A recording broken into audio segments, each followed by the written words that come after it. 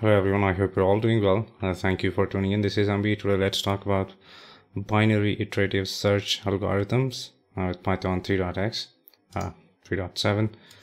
So we have a lot of algorithms and uh, in that these algorithms are have a purpose and there are some algorithms which are made uh, for searching.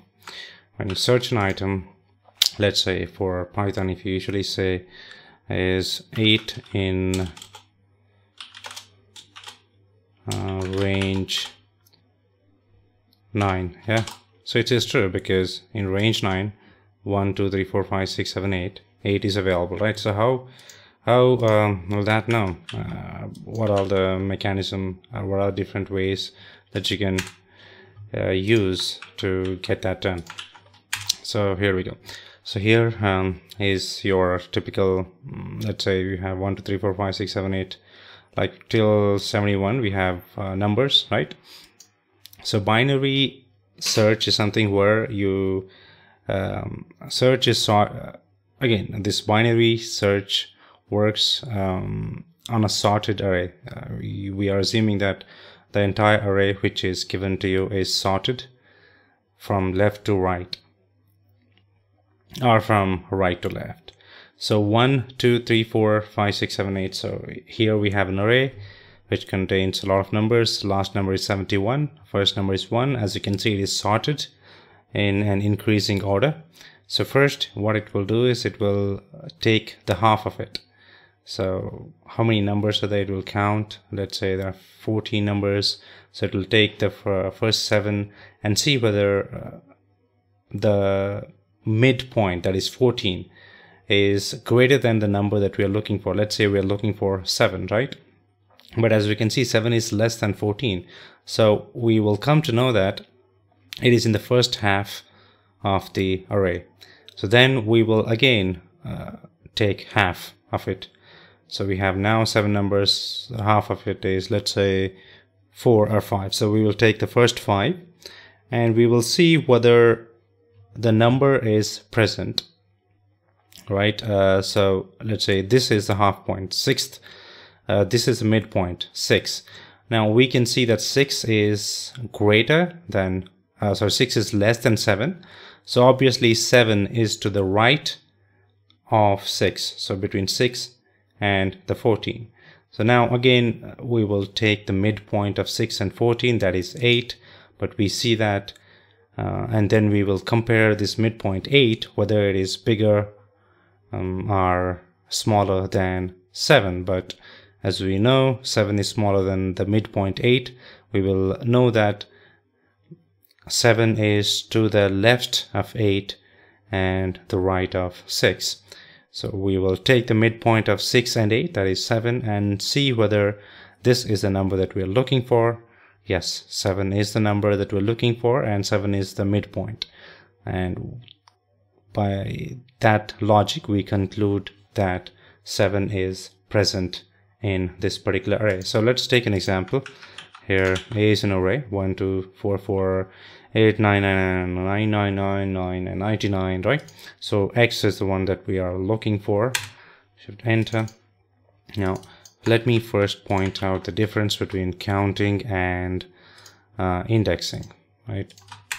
So let's say uh, this is a list sample list ls here length of lx the size or length of the array is 6 the position or the index of the last item is 5 so when you are you are indexing it is 0 to 5 right? It always starts with 0 but the size or the length itself is the count which is always uh, which always begins with 1 so i think we are uh, clear with that. So we saw that you know we uh, when you do length of an array it starts um, counting from 1 whereas indexing starts with 0 So a range can be expanded into a list by doing star range n. Okay, so like this here. So this is range and by doing this, I can go ahead and make this as a list.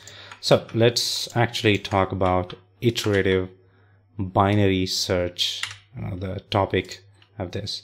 So let's go ahead and define a function, define, um, let's say define, what should we name it? Iter binary search, yeah? And we are gonna get an array and element is the number that we want to search uh, inside that we are going to define the initial start and and found uh, variable 0 and the end is going to be obviously indexing right so minus 1 as we saw that if the length is 6 then the indexing of the last item is always or the end item is 5 so length minus 1 right? Length of array minus 1 there is no confusion there. And found is it found? By default we are going to assume that it is false. If we find it we will update it as yes we found it or true right? While start is less than or equal to end mid is equal to start plus end by factorial of 2 if you just do divided by 2 let's say it is the length of the array is 15 then you are going to get 7.5 that is not something that we want so we want to do uh, this floor division right?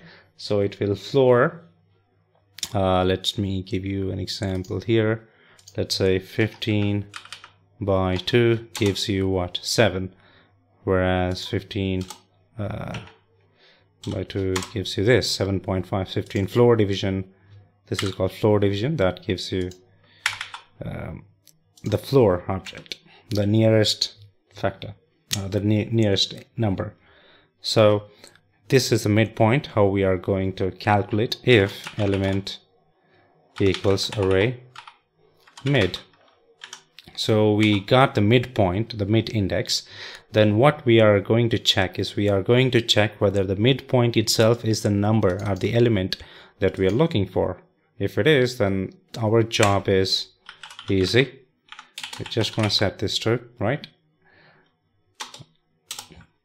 And if that is not the case, then our another condition is if mm, yeah less than array mid. Let's say if it is less than the array right? We are going to do this.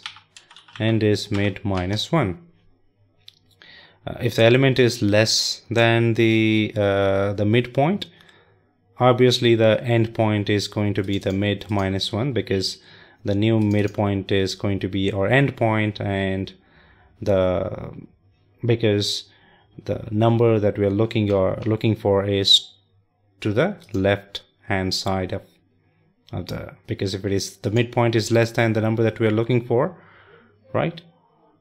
Then it is to the left. I'm sorry the if the number that we're looking for is less than the midpoint then the, it is to the left. And if the number that we're looking for is less than the midpoint then it is to the right so the number here that we're looking for is, let's say here 7, and that is less than the, uh, the number 14, so it is to the left. If it is uh, the number is great, then it is to the right. If a number is uh, less, then it is to the left. Number is less, to the left. Number is greater, to the right. So, okay, so then we will come to here, else of course start is going to be mid plus 1 yep. Mid plus 1 return. And we are going to say return found at the end. Yep. Save. And I'm gonna do here. Let me take. Here so it's 88% in this particular list. True right? So is 118% in this obviously false statement. So that is all I had for iterative search algorithm. Thank you for tuning in. You have a great one. Take care.